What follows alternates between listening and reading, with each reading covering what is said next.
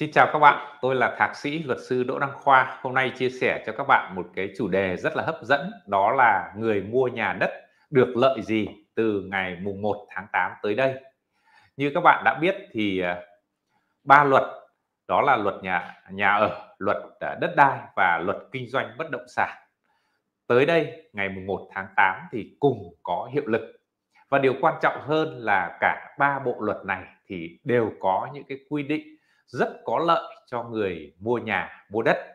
Cụ thể là những cái lợi ích nào thì trong chương trình tôi sẽ lần lượt chia sẻ cho các bạn. Cũng như thường lệ thì ở cuối chương trình tôi sẽ giải đáp những cái thắc mắc cho các bạn liên quan tới pháp lý nhà đất.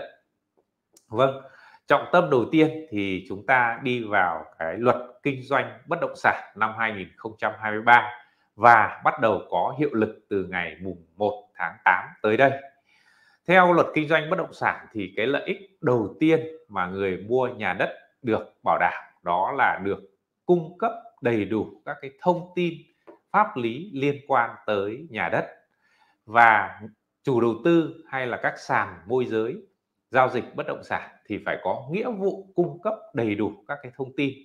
Thì như các bạn biết được là thông tin bất động sản à, để mà mua để mà bán một cái bất động sản thì thông tin pháp lý là vô cùng quan trọng và đặc biệt là mua nhà đất của chủ đầu tư.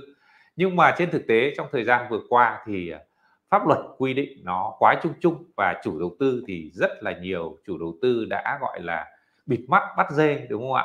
Không cung cấp thông tin à, dẫn tới là rất nhiều người sau khi xuống tiền rồi thì bảo là bị lừa rồi à, à bị à, gọi là lừa đảo hay là bị uh, gian dối chủ đầu tư gian dối dẫn đến mất tiền đúng không ạ? Như vậy thì chính từ cái thực tế đó cho nên là luật kinh doanh bất động sản lần này quy định rất chi tiết về cái nghĩa vụ cung cấp thông tin của chủ đầu tư tới những cái khách hàng những cái người mua nhà đất à, rất đầy đủ chi tiết đối với từng loại bất động sản một.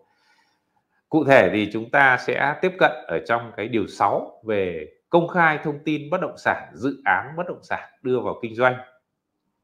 Khoản 1 thì có quy định là trước khi đưa bất động sản, dự án bất động sản vào kinh doanh, doanh nghiệp kinh doanh bất động sản thì phải cung cấp thông tin một cách trung thực, chính xác và đầy đủ. Cụ thể thì à, đầy đủ là như thế nào thì luật cũng quy định rõ trong khoản 2 đầu tiên đó là thông tin về dự án bất động sản thì chủ đầu tư phải cung cấp những cái thông tin chính như sau thứ nhất đó là chấp thuận chủ trương đầu tư cho cái dự án bất động sản được phép và tiến hành. Thông thường thì cái chấp thuận chủ trương đầu tư các dự án bất động sản là do ủy ban nhân dân cấp tỉnh à, ban hành. À, một số các trường hợp mà đặc biệt thì có thể chấp thuận chủ trương là thuộc về thủ tướng chính phủ hoặc à, một số những dự án quá lớn thì thuộc về quốc hội chấp thuận chủ trương đầu tư à, nhưng mà cơ bản là chấp thuận chủ trương đầu tư phần lớn là do ủy ban nhân dân cấp tỉnh ban hành. Thì cái quyết định chủ trương đầu tư này nó là cái căn cứ pháp lý đầu tiên của một cái dự án bất động sản và chủ đầu tư phải xin chấp thuận chủ trương đầu tư cũng như phải cung cấp cái chủ trương đầu tư này cho khách hàng khi mà quan tâm tìm hiểu về dự án. Thứ hai là phải cung cấp cái quyết định giao đất cho thuê đất khi mà chủ đầu tư mà nó nằm ở trong cái trường hợp là chưa có đất thì muốn làm dự án thì sau khi có quyết định chủ trương đầu tư thì nhà nước phải giao đất hoặc là cho thuê đất thì mới có đất để mà thực hiện dự án. Trong trường hợp mà chủ đầu tư như đó là, ví dụ là đất nông nghiệp mà chuyển sang mà dự án mạng thì phải định cho phép chuyển mục đích sử dụng đất từ đất nông nghiệp sang nhà ở thương mại. Đó là những cái thông tin về đất đai cấp. Thứ ba đó là quy hoạch chi tiết à, được cơ quan quyền phê duyệt. Thông tin án nếu mà nói về thì thông thường hoạch với cái tỷ lệ 1 phần 500 và thông thường thì cũng là ủy ban dân cấp tỉnh phê duyệt cái quy định hoạch chi tiết này. Một số những dự án có quy mô nhỏ ví dụ dưới một hecta không có quy hoạch chi tiết một trăm nhưng mà gọi là sơ đồ mặt bằng đó, gọi là sơ đồ. Hay nói cách khác là cái à, sơ bộ đó thì đó là các cái thông tin về quy hoạch. Thứ tư đối với một cái dự án cần phải cung cấp thông tin cho người mua nhà đó là hợp đồng mẫu được sử dụng để ký kết trong giao dịch kinh doanh bất động sản theo luật kinh doanh bất động sản. Nói một cách à, dễ hiểu hơn thì chủ đầu tư phải cung cấp cái mẫu hợp đồng mua bán nhà ở à, hoặc là cái mẫu hợp đồng mua bán đất nền như là trong dân gian chúng ta vẫn gọi. Cái mẫu này thì chủ đầu tư phải ban hành theo đúng quy định của luật kinh doanh bất động sản và phải có cái thủ tục đăng ký cái mẫu này. Sau khi đăng ký cơ quan đăng ký cụ thể là à, sở công thương sẽ xem xét xem cái hợp đồng mẫu này nó có phù hợp với à, với luật không. À, sau khi xem xét mẫu phù hợp với luật thì chủ đầu tư phải cung cấp cái mẫu này công khai để cho những người mua nhà biết. Thì cái điều này thông tin này nó vô cùng quan trọng và trên thực tế thì có rất nhiều người đi mua nhà đất từ chủ đầu tư cũng không biết là chủ đầu tư có trách nhiệm phải cung cấp những cái thông tin này. Cũng có rất nhiều người cũng không biết là cần hỏi cái thông tin gì. Do vậy là trong cái phần này các bạn sẽ thấy được là các bạn cần phải hỏi bốn thông tin. Một là chủ trương đầu tư. Hai là quyết định giao đất cho thuê đất hoặc là chuyển mục đích sử dụng đất ba đó là thông tin quy hoạch một phần năm trăm bốn đó là mẫu hợp đồng mua bán à, nhà đất đúng không ạ? Như vậy thì khi các bạn à, nắm được bốn cái thông tin này nếu như nó đầy đủ theo quy định pháp luật chủ đầu tư cũng cung cấp đầy đủ như vậy thì chúng ta đã thấy được là một cái dự án có thể nói là đánh giá là pháp lý đầy đủ thông tin về pháp lý dự án rồi đúng không ạ? Rồi và đặc biệt à, có rất nhiều người à, quá trình vừa rồi có than vãn với tôi khi mà à, tranh chấp khi mà chủ đầu tư kiện tụng à, mang những cái hợp đồng tới thì nói rằng là tôi phân tích cho là với cái hợp đồng này thì chắc chắn là à, anh chị là thua kiện là chắc rồi. Bởi vì hợp đồng này là là hợp đồng nó hoàn toàn là bảo vệ cho chủ đầu tư. Mà tại sao anh chị lại ký vào cái hợp đồng này? Thì à, nhiều người nói là thì tôi biết đâu đặt cọc xong rồi thì à, đến lúc là ờ, một thời gian sau thì chủ đầu tư mới đưa hợp đồng hợp đồng dài mấy chục trang làm sao mà tôi đọc hết được làm sao mà tôi biết được? Thì đấy cái đầu tiên một trong những cái nguyên tắc khi mà chúng ta tìm hiểu dự án là chúng ta phải xem hợp đồng mẫu. Bởi vì hợp đồng mẫu nó cũng tới thông thường là 15 trang đến 20 trang. Do vậy ta phải xem trước hợp đồng mẫu để chúng ta nắm được hết cái nội dung đúng không ạ? À, thì sau đó thì đến lúc xuống tiền và cọc rồi thì mới ký theo cái hợp đồng mẫu đấy. Chứ còn nếu mà cứ đặt cọc xuống tiền trước rồi không xem đó, thì đến lúc mà bắt buộc phải ký thì rất nhiều trường hợp là đến lúc gọi như là lỡ rồi thì đã muộn rồi đúng không ạ? Bút xa là chết cho nên là đây là một trong những cái kinh nghiệm rất là quan trọng. Và quan trọng hơn bây giờ luật đã quy định là chủ đầu tư phải cung cấp hợp đồng mẫu và khách hàng mua nhà đất thì được quyền xem cái hợp đồng mẫu đấy trước đặt cọc trước đúng không ạ? Vâng tiếp theo đó là cái lợi ích là chủ đầu tư phải thông tin về trình xây dựng hình thành trong tương lai. Và nhà đất công trình xây dựng hình thành trong tương lai là nghĩa là gì? À, trên thực tế thì các bạn mua nhà của chủ đầu tư mua từ khi mà nó đúng không ạ? Đã thôi mới có có nhà thật đúng không ạ? Dân gian thì gọi là đấy nhưng pháp luật thì gọi là nhà hình thành tương lai. Từ à, hai năm đó thế thì những cái nhà những cái căn hộ hoặc là những cái biệt thự à, hình thành trong thì cung cấp chi tiết vị trí tiến độ xây dựng rồi công năng bất động sản đặc biệt về thiết kế phép xây dựng. Giấy chứng nhận, gọi là đã hoàn thành phần móng đối với nhà chung cư để đủ điều kiện để à, ký khám thì đó là những cái quy định à, đối với cả nhà trên giấy. Đặc biệt đối với nhà trên giấy giấy thì à, chủ đầu tư còn phải cung cấp cái thỏa thuận bảo lãnh trong trường hợp là bán nhà trên giấy à, thế nào đó là cung cấp về cái bảo lãnh thì à, tôi sẽ phân tích sâu ở cái phần sau tiếp theo là văn bản là của cơ quan xây dựng gọi là sở xây dựng đấy văn bản của sở xây dựng à, xác nhận là đủ điều kiện để bán nhà đất đấy. tức là trước khi mà muốn à, bán nhà đất cho khách hàng thì chủ đầu tư phải nộp à, gọi là nộp hồ sơ báo cáo với sở xây dựng để sở xây dựng là tiến hành thẩm tra cái dự án đấy. Nếu trong trường hợp là dự án có đủ cái điều kiện rồi thì sở xây dựng sẽ ra cái thông báo là dự án các cái căn hộ các cái đất nền có đủ điều kiện để mà bán hàng. Như vậy thì à, đây là một trong những cái văn bản mà quan trọng nhất và đặc biệt là với những người mà mới lần đầu đi mua nhà mua đất à, còn chưa hiểu thế nào là chấp thuận chủ trương đầu tư chưa hiểu thế nào là một phần năm trăm hay là giấy phép xây dựng hoặc là quyết định giao đất cho thuê đất. Đó. À, biên bản nghiệm thu móng. Thì tóm lại thì chỉ cần hỏi một câu thôi là chủ đầu tư hãy cho tôi xem cái văn bản chấp thuận của sở xây dựng về cái dự án về cái căn hộ về cái đất nền đó đã đủ điều kiện để mà đưa gọi là được bán đó. thế thì khi chủ đầu tư cung cấp cho chúng ta cái văn bản này có nghĩa là sở xây dựng đã là cái cơ quan đứng ra kiểm tra tất cả các cái điều kiện rồi còn nếu chủ đầu tư bảo không tôi chưa có cái văn bản của xây, sở xây dựng xác nhận về đủ điều kiện là bán hàng thì à, hãy khoan hãy chờ đợi Ờ, đến khi có cái văn bản xác nhận của sở xây dựng về đủ điều kiện bán hàng thì hãy xuống tiền. Thì đó là à, cái luật đã quy định đã bảo vệ lợi ích cho những người mua nhà đất. À, mình cần phải biết để mà mình tận dụng mình hưởng được những cái lợi đấy đúng không ạ?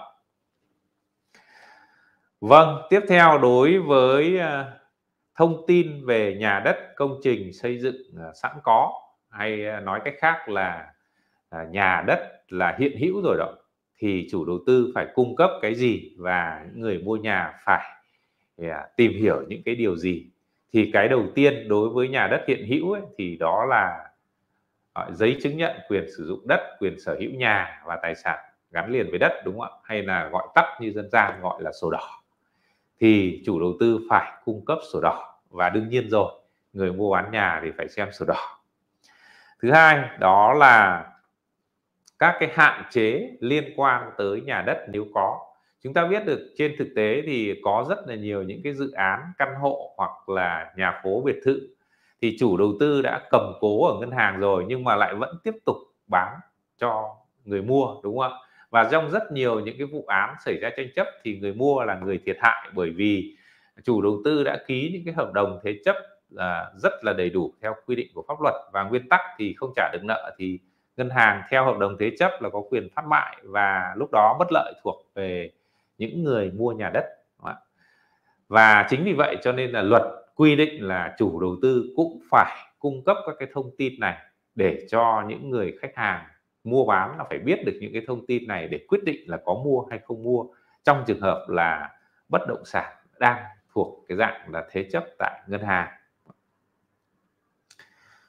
Vâng và cái thông tin thứ năm đối với cái loại bất động sản mà cũng rất là hot mà chủ đầu tư hay bán đó là quyền sử dụng đất đã có hạ tầng kỹ thuật trong dự án bất động sản. À, mà dân gian vẫn gọi đấy là đất nền đấy đúng không ạ? Ờ, nhưng mà luật thì quy định đó là quyền sử dụng đất có hạ tầng kỹ thuật. Đối với à, các cái đất nền này thì chủ đầu tư cũng phải cung cấp sổ đỏ đối với cái phần diện tích đất nền mà chào bán là cái thứ nhất. Thứ hai là cũng phải có văn bản của sở xây dựng về xác nhận đã đủ cái điều kiện đưa cái đất nền gọi là vào à, giao dịch tức là đủ điều kiện nôm na là đất nền đủ điều kiện theo quy định của pháp luật để bán cho khách hàng thì sở xây dựng cũng sẽ có một cái thông báo xác nhận này. Thì chủ đầu tư cũng phải cung cấp cái thông báo này cho cho khách hàng. Đó. và với rất nhiều bạn mua đất nền, nếu mà kiến thức còn hạn hẹp thì tốt nhất là bạn cứ hỏi chủ đầu tư là đã có thông báo của sở xây dựng về việc là đất nền đã đủ điều kiện chưa?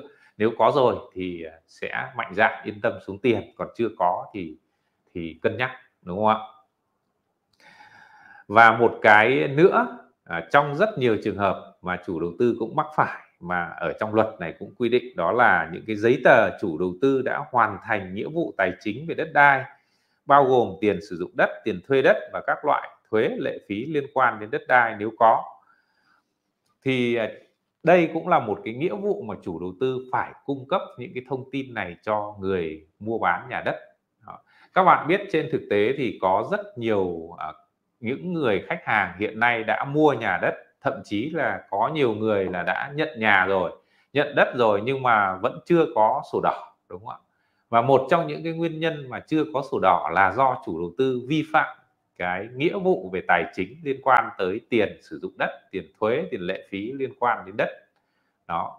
Như vậy thì để hạn chế những cái trường hợp mà thất thiệt ừ, cho rất nhiều những cái khách hàng trong thời gian qua thì luật bây giờ cũng quy định là chủ đầu tư phải cung cấp những cái thông tin này và khách hàng có quyền đòi hỏi để xem những cái thông tin này để biết được tình trạng đất đai dự án đã đủ điều kiện bán chưa mình mua như thế thì sau này à, có ra sổ được không đúng không ạ? Thì đó là những cái quy định về thông tin à, cơ bản mà chủ đầu tư phải cung cấp. Hay nói cách khác đó là những cái điều mà luật đã quy định rất có lợi cho khách hàng để bảo vệ khách hàng người mua nhà đất. Vâng, à, đó là cái lợi ích thứ nhất tôi đã giới thiệu cho các bạn đó là cái lợi ích mới của những người mua nhà đất từ mùng 1 tháng 8 tới đây là được chủ đầu tư cung cấp đầy đủ những cái thông tin pháp lý liên quan tới dự án cũng như là cái sản phẩm nhà hoặc là đất. Các bạn thấy à, có hiểu không ạ? Có hay không ạ? Nếu mà bạn nào thấy hay, thấy hiểu thì vui lòng để lại bình luận. Bạn nào mà cũng chưa hiểu hay là có bất cứ những câu hỏi nào liên quan tới pháp lý nhà đất thì bạn, các bạn cứ đặt câu hỏi. Tôi sẽ trả lời lần lượt cho các bạn ở phần sau. Tôi sẽ ưu tiên các bạn à, đặt câu hỏi sớm nhất và à, đã đăng ký kênh để mà lần lượt trả lời những cái câu hỏi của các bạn.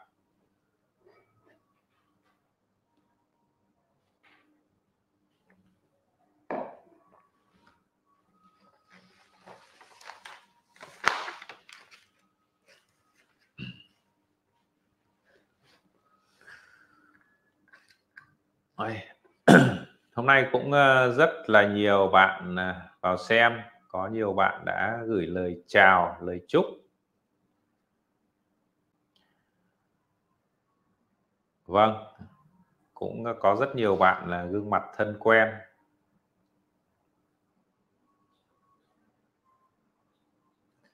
Vâng, tôi cũng ờ, xin ờ, gửi lời chào, lời chúc tới tất cả các bạn. Chúc các bạn có nhiều sức khỏe và vững pháp lý nắm thành công. Bạn à, Phan Quỳnh có hỏi, câu hỏi khá sớm là em muốn hỏi mua cuốn cẩm nang, mua bán đất thì bao nhiêu tiền? Vâng nếu mà bạn à, quan tâm tới à, cuốn cẩm nang mua bán đất này thì tôi nghĩ bạn không không nên không cần quan tâm tới tiền. Bởi vì thực sự cuốn sách này so với cái giá trị của nó với cái cái à, giá gọi là giá bán thì nó quá quá ít và nó quá rẻ. Các bạn biết được là một cuốn cẩm nang mua bán đất hay là một cuốn cẩm nang mua bán nhà này đó là toàn bộ kiến thức kinh nghiệm tôi chia sẻ cho mọi người để bảo vệ cái tài sản là nhà đất nó tiền tỷ. À, do vậy là cái tiền mà để mà mua cuốn sách này nó có khoảng à, chưa tới 200 nghìn thì nó quá rẻ đúng không ạ? Các bạn nếu mà muốn đăng ký sách thì à, sách hiện tại được phân phối trên nhà sách Tiki thì các bạn có thể à, đăng ký ở cái đường link ở phần mô tả video hoặc là bình luận là à, bình luận đầu tiên. Còn à, không thì các bạn hỏi Google à, tên cuốn sách này thì nó cũng có ở trên nhà sách Tiki các bạn có thể tự đặt. Vâng, còn à, rất nhiều các cái câu hỏi khác thì các bạn cứ đặt câu hỏi nhé. thì à, tôi sẽ lần lượt à, trả lời theo thứ tự ưu tiên đặt câu hỏi sớm và những người đã đăng ký kênh. Bây giờ thì chúng ta tiếp theo. Còn ba cái lợi ích rất là lớn của cái người mua nhà đất từ ngày mùng 1 tháng 8 tới đây. Tiếp theo lợi ích thứ hai đó là về cái tiền đặt cọc à, tiền đặt cọc thì à, tới đây thì chủ đầu tư dự án bất động sản chỉ được thu tiền đặt cọc không quá 5% giá bán nhà đất. Và trong thỏa thuận đặt cọc thì phải ghi rõ giá bán giá cho thuê và phần diện tích à, bán. À, thì đấy là một cái quy định mới và cũng rất có lợi cho người mua nhà đất. Các bạn biết được trên thực tế thì trước đây thì rất nhiều các chủ đầu tư đã lợi dụng gọi như là quy định pháp luật, thu tiền đặt cọc lên tới tận 30 phần trăm à, 30 phần trăm. Và rất nhiều những trường hợp là thu 30 phần trăm xong thì 5 năm 10 năm sau cũng không có dự án đâu. Và những người à, mà đã nộp tiền thì đòi tiền cũng không biết được chủ đầu tư ở đâu. Và hàng nghìn, hàng à, vạn những cái người mà đặt cọc 30 phần trăm dẫn tới cái việc là mất tiền đó, và rất dẫn tới rất là nhiều những cái hệ lụy xấu cho xã hội lừa đảo rồi tù tội. Đối với chủ đầu tư thời gian qua thì luật lần này đã quy định hạn chế cái việc thu tiền đặt cọc của chủ đầu tư tránh cái sự lạm dụng đúng không ạ? Và bảo vệ tốt hơn quyền lợi của khách hàng. Luật bây giờ quy định cho phép chủ đầu tư thu tiền đặt cọc chỉ có 5% giá bán của nhà hoặc đất thôi. Như vậy đây là một cái quy định theo hướng bảo vệ tốt hơn quyền lợi cho những cái người mua nhà đất, đúng không ạ?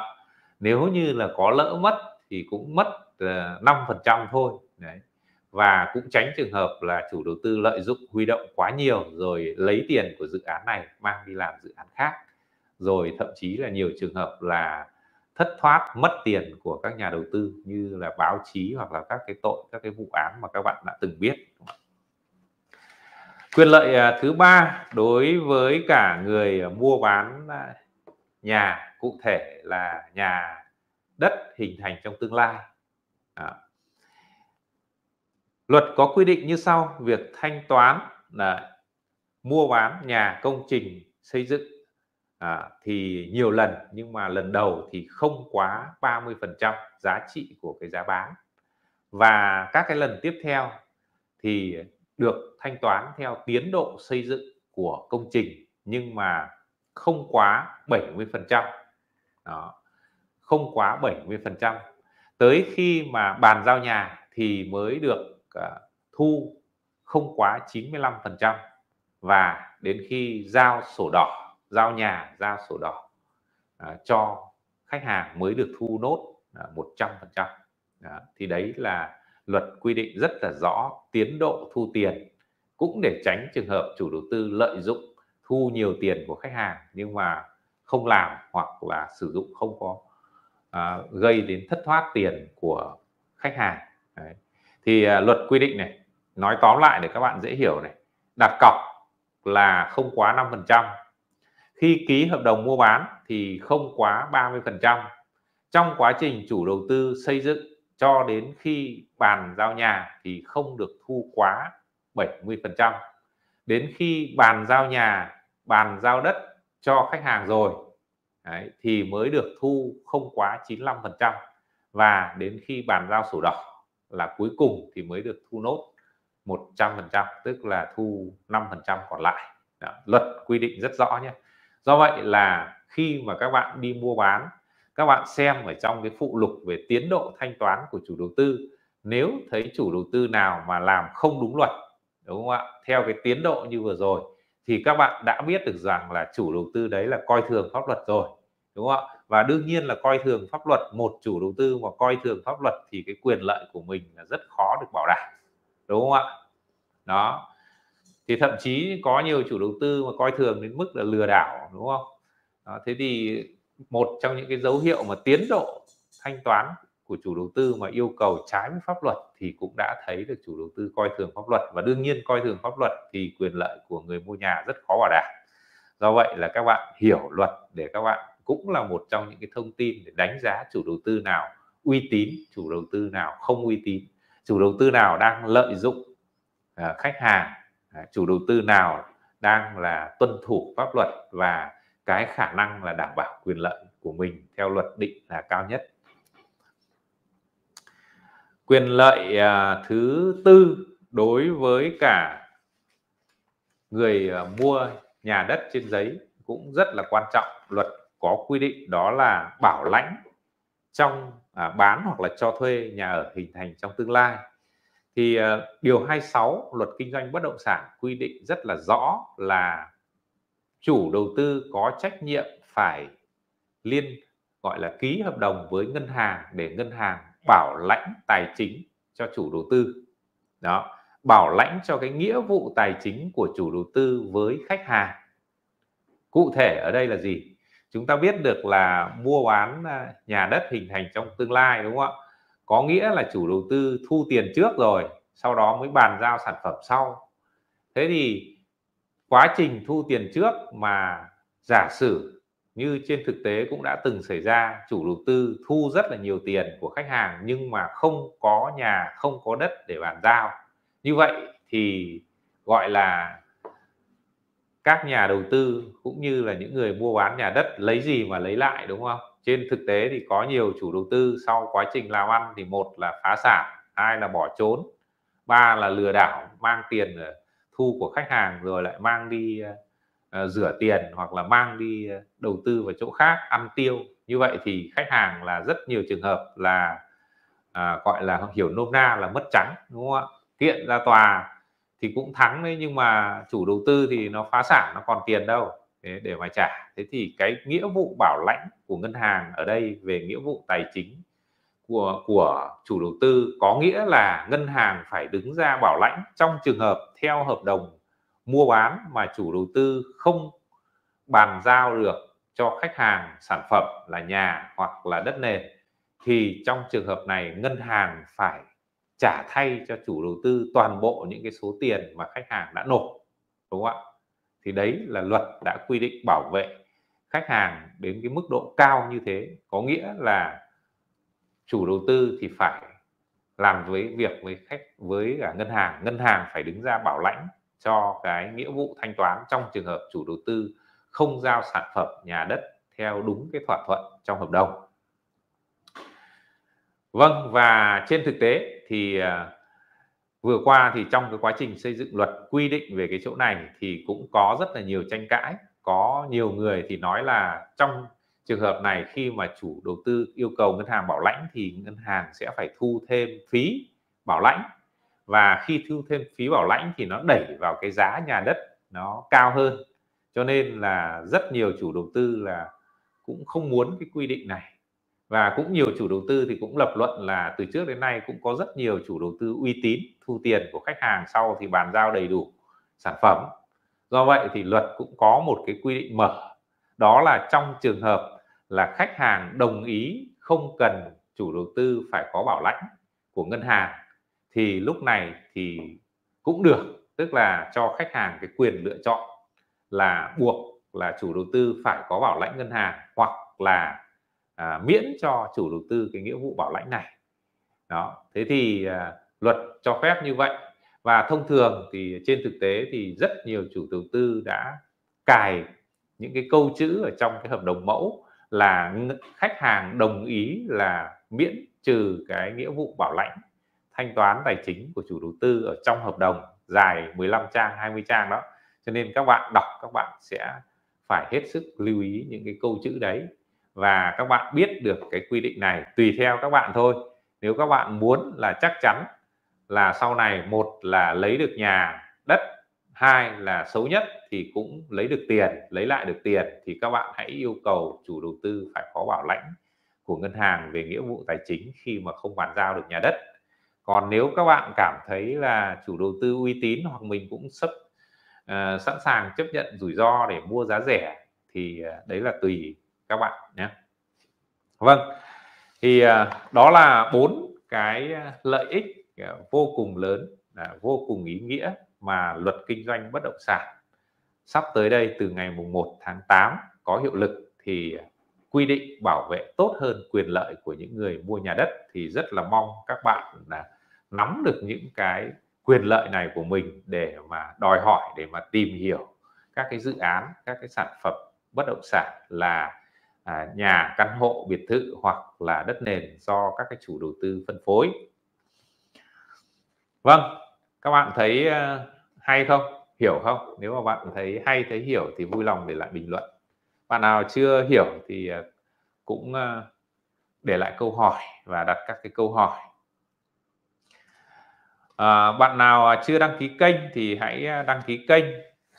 Đối với những cái quy định pháp luật mà tôi vừa chia sẻ cho các bạn thì đã có ở trong cái bài viết ở link ở đường mô tả video bạn nào muốn đọc chi tiết hơn để khỏi phải dễ nhớ thì à, các bạn vào đường link Vâng, thì à, bây giờ thì cũng đã hết cái thời gian, thời lượng cho cái việc like. Tuy nhiên thì cũng còn à, cả chục cái câu hỏi mà các bạn đặt thì thành thật là xin lỗi các bạn và hẹn gặp lại các bạn trong các cái chương trình like lần sau. Các bạn cố gắng vào sớm từ lúc 8 rưỡi đăng ký kênh để được ưu tiên trả lời trước.